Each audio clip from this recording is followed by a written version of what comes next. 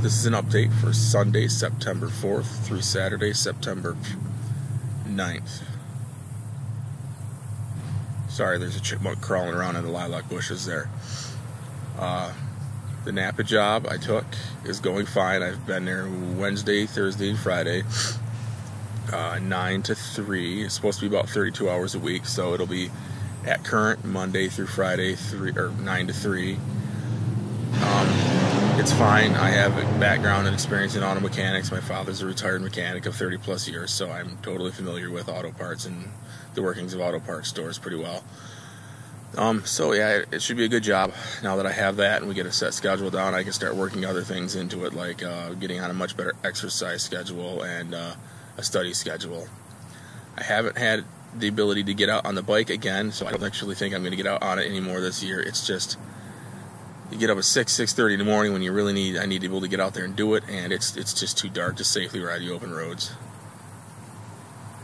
Sorry, that chipmunk is uh, distracting me.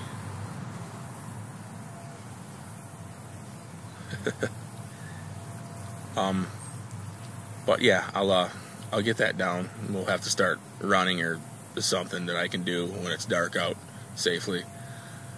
Uh, the five-year-old's wrist is healing up really well.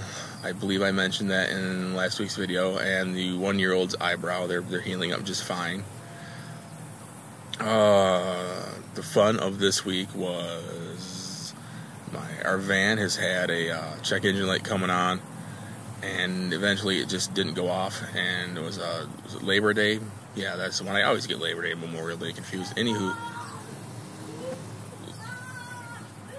Labor Day I decided to pop the hood on the van and take a look at it. It was giving me some random misfire codes, especially on cylinder one. So I uh, popped the hood open and uh, I just wanted to check the plugs. And I didn't do cylinder one initially. The uh, you look at it, uh, that van, the odd plugs are in the back towards the firewall. The even plugs are up front. So I popped the plug off of uh,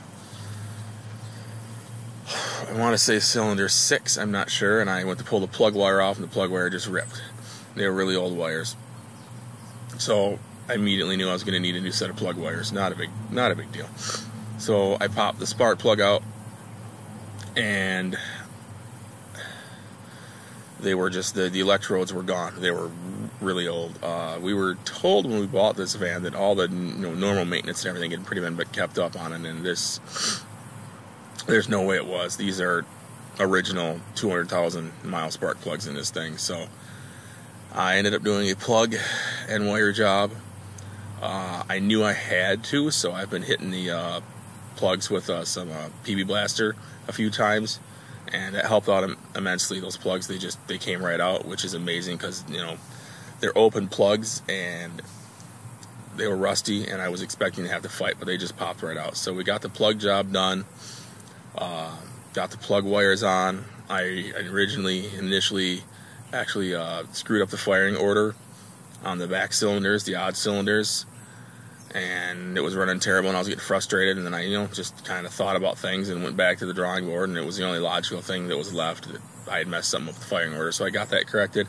The van is running amazingly now. We uh, went from getting 18, 19 miles to the gallon out on the open road to like 23, 24 and you know, I mean, 23, 24 miles a gallon is not bad, but when you're talking a, a van with uh, 211,000 on it, you're, uh, I mean, that's that's that's really good.